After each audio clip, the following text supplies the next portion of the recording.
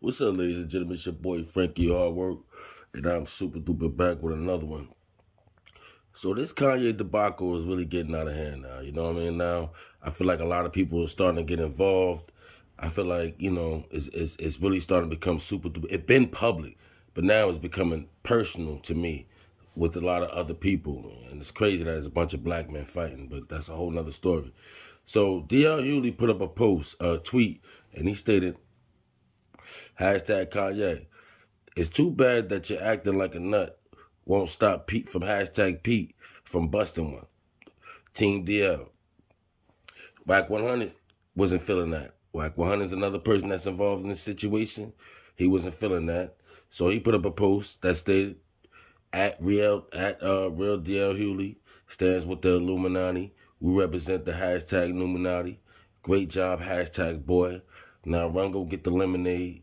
Kanye West, keep your head up. Just because they look like us doesn't mean they're for us. Hashtag daddy gang. So he put up a picture of DL Hughley with a bucket of chicken, and it stated that the people's champ correction, his people champ. Hashtag Illuminati. And it said real DL Hughley. Go and fetch that lemonade. So he really feels some type of way about that because as you see, you know, Game and uh, Wack 100 been running around with Kanye West heavy lately. You know what I mean? So that's another a type of feeling. But I guess DL Hughley ain't stopped there because he put up another post that said, hmm, ain't that weird that Kanye West supposedly has all these goons who were killed for him, but not one of them will get his prescription filled. Here's a thought while you're on your way to kill me in Calabasas. How about somebody drop by CVS, CVS and pick up that Xanax, LOL. And then he put up another uh, tweet stating that ain't no way, ain't no way in hell I'd be ever scared of a dude that wears hashtag I know what you did last summer boots. So DL DL Hughley ain't backing down. And once again, I'm just reporting. You know what I mean? I'm definitely putting my, you know, my my my uh, my commentary on because what's going on between them is way too much, and it's all over a female. At the end of the day, it's at the female. So Kim Kardashian, she also felt some type of way, and I guess they've been going back and forth because she tweeted him saying that when I say bring my kids somewhere, I'm not going through this no more. And it says, why would the blank is why is why the blank is it up to you where my kids are if I so if we so called have custody? You know, Kanye West spoke on that. You know, he spoke on that, stating that there's no such things as uh, uh, um, pretty much as a um, joint custody. It's always favored towards women. That's a whole nother story, and, and you know, I am glad I don't have to deal with situations like this because that's a whole nother story with this situation. But I wanted to speak on this because Pete Davidson finally spoke.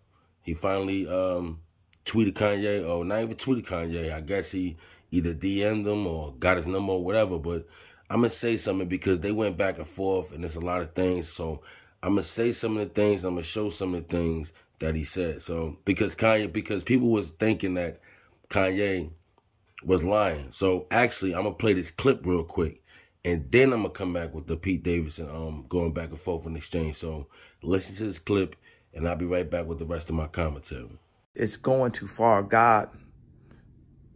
Please, the boyfriend text me, antagonizing me, bragging about being in bed with my wife. I thought I thought publicly for a year and a half. It's been I've been dragged and how she's not my wife. She don't have a last name, and now he texting me, talking and bragging about how he's in bed with my wife, and I'm like, well, who's watching my children if he's texting me bragging about being in bed with my wife?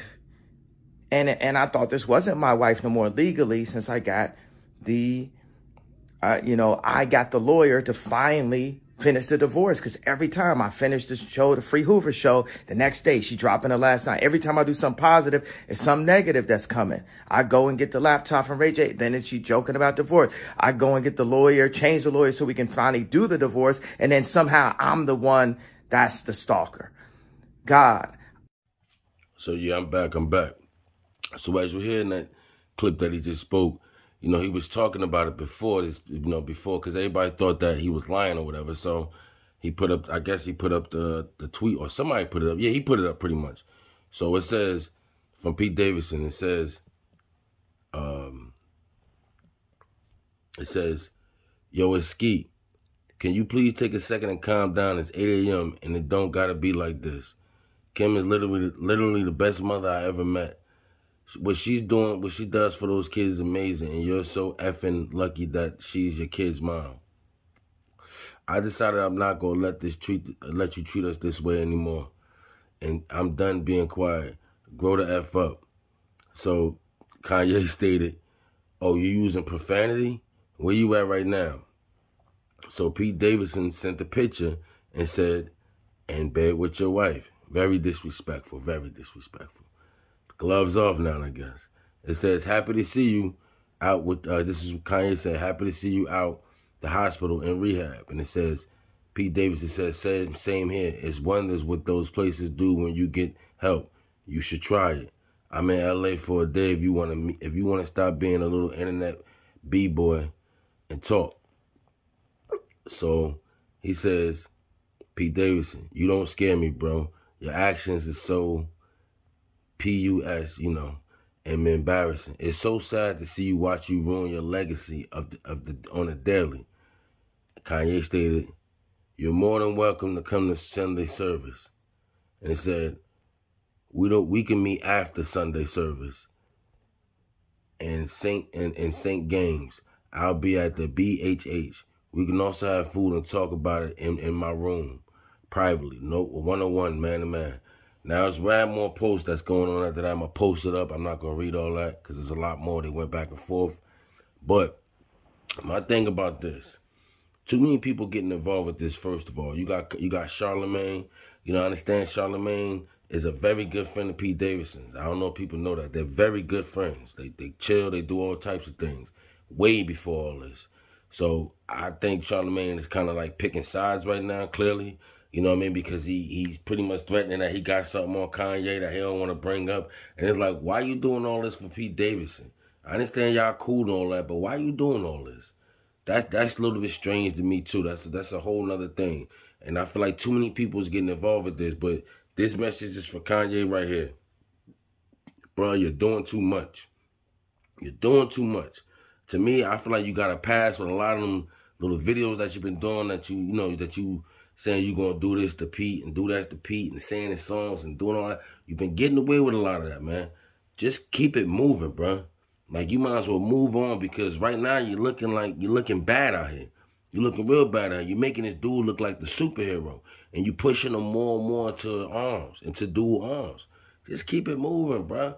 You know what I mean? Yes, I feel like a lot of these dudes that's actually saying stuff in public can go behind the scenes and try to speak to Kanye. I'm pretty sure they can do this. You know what I mean? So I feel like, yeah, D.L. Hughley, while he was trying to help out, I think he was pushing it a little bit. Wack 100, Wack 100 isn't everybody business. It could be genuine, you know what I mean? With Wack 100, it could be genuine or it could just be for more attention. Who knows? In this situation, I'm going to choose that he's being genuine. You understand? But for the most part, if Dog's going to try to highlight him, highlight him behind the scenes, man. Talk to that man. But Kanye West, step your game up, bro. Fall back and keep it moving. You're looking bad out here, man. You're looking bad out here. So y'all let me know how y'all feel about this. You think Wack 100 should have stepped in? You think D.L. Is doing too much talking? You think Kanye West doing too much? It's just so much to say on this situation. It's your boy Frankie Hard Work. Like, comment, subscribe, share this video. Go holla at your boy on IG at Frankie Hard Work 1. And go check my brand out, Hard Work Uni. Easy.